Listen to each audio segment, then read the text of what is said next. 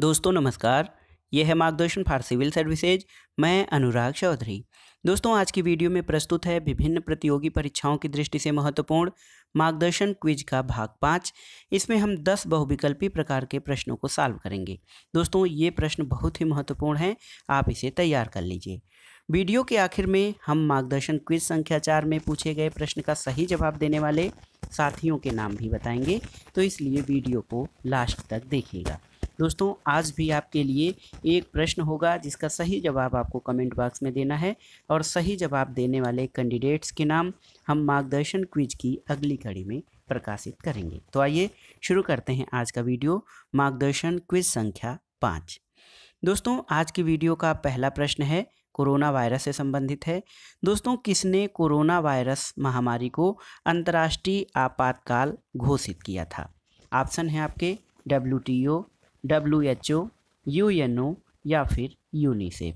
तो दोस्तों, corona virus महामारी जिससे पूरी दुनिया जो है तबाह रही और पूरी दुनिया में इसने अपना प्रभाव दिखाया। कोरोना वायरस महामारी को इंटरनेशनल इमरजेंसी किस संस्था द्वारा घोषित किया गया था? तो सही उत्तर है आपका option B W H O द्वारा कोरोना वायरस महामारी को अंतर्राष्ट्रीय आपात घोषित किया गया। डब्ल्यू एच ओ यानी वर्ल्ड हेल्थ ऑर्गेनाइजेशन या विश्व स्वास्थ्य संगठन, इसने कोरोना वायरस महामारी को अंतर्राष्ट्रीय आपातकाल घोषित किया गया था। अगला प्रश्न देखते हैं दोस्तों। भारतीय महिला बैंक से संबंधित है। भारतीय महिला बैंक की स्थापना वर्ष 2013 में की गई थी। इसका मुख्यालय कहाँ पर है? दोस्तों, भारतीय महिला बैंक, ये जो कॉन्सेप्ट है महिला बैंक का, इसमें उच्चस्थ अधिकारी से लेकर सभी कर्मचारी इसकी महिलाएँ होती हैं। इसकी स्थापना वर्ष 2013 में की गई थी। आपको बताना है कि इसका मुख्यालय कहाँ पर स्थित है। ऑप्शन है आपके मुंबई, चेन्नई, नई दिल्ली या फिर कोलकाता। तो दोस्तों, भारतीय महिला बैंक का मुख्यालय नई दिल्ली में स्थित है। सही उत्तर है ऑप्शन सी, नई दिल्ली। अगला प्रश्न देखते हैं। बौद्ध धर्म के सिद्धांत कितने आर्य सत्यों पर आधारित हैं? आपने प्राचीन भारत का इतिहास पढ़ते समय जैन धर्म और बौद्ध धर्म का अध्ययन किया है और बहुत ही आसान क्वेश्चन है। बौद्ध धर्म के जो सिद्धांत हैं या विचार हैं, वो कितने आर्य सत्य पर आधारित हैं? ऑप्शन है आपके दो, चार, सात या फिर आठ। तो सही उत्तर है दोस्तों, बौद्ध धर्म के सिद्धांत चार आर्य सत्यों पर आधारित हैं। अगला प्रश्न देखते हैं। मार्गदर्शन क्विज संख्या पाँच का चौथा प्रश्न, सद्भावना दिवस कब मनाया जाता है? बहुत ही महत्वपूर्ण प्रश्न है। भारत के संदर्भ में है दिवस और जो हमारे महत्वपूर्ण दिन और सप्ताह मनाए जाते हैं, उनसे संबंधित है ये प्रश्न, सद्भावना दिवस कब मनाया जाता है?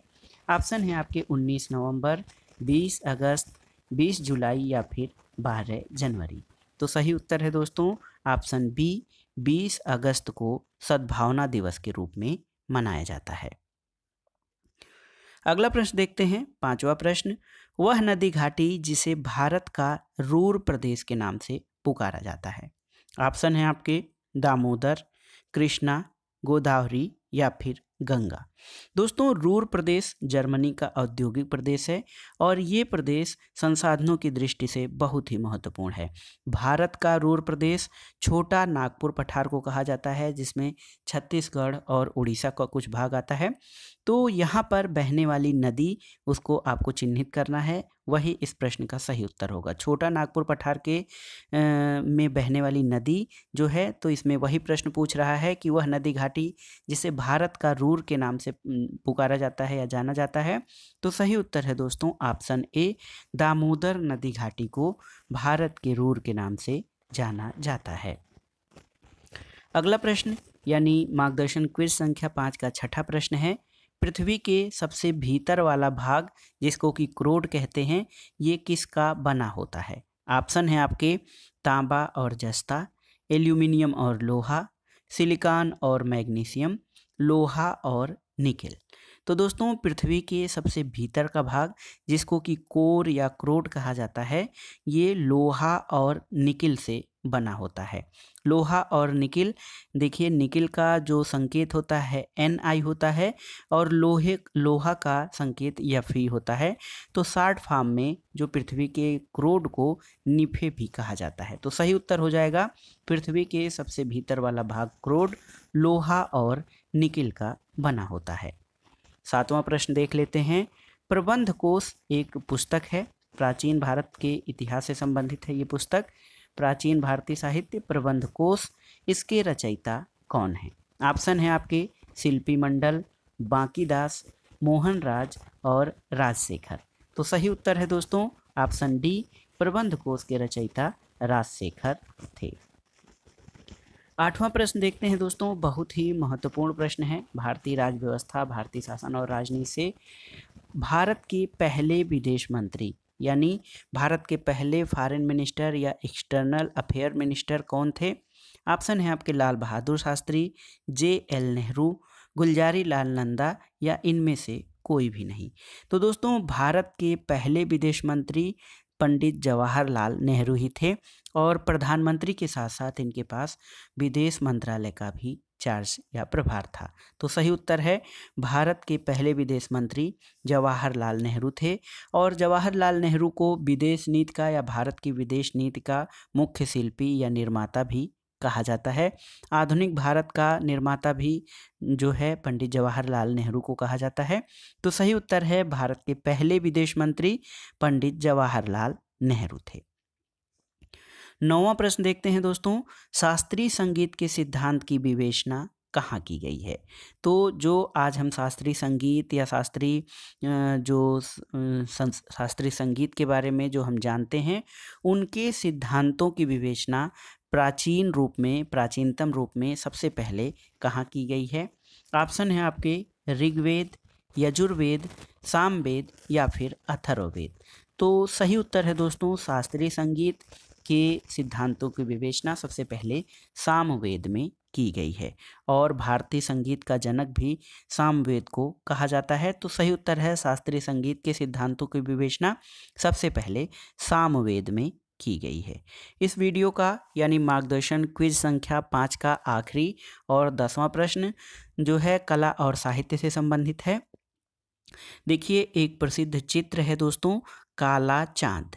काला चाँद नामक चित्र का चित्रांकन किस चित्रकार द्वारा किया गया है? ऑप्शन है आपके सतीश गुजराल, जयमिनी राय, नंदलाल बोस या फिर अवनीन्द्र टैगोर।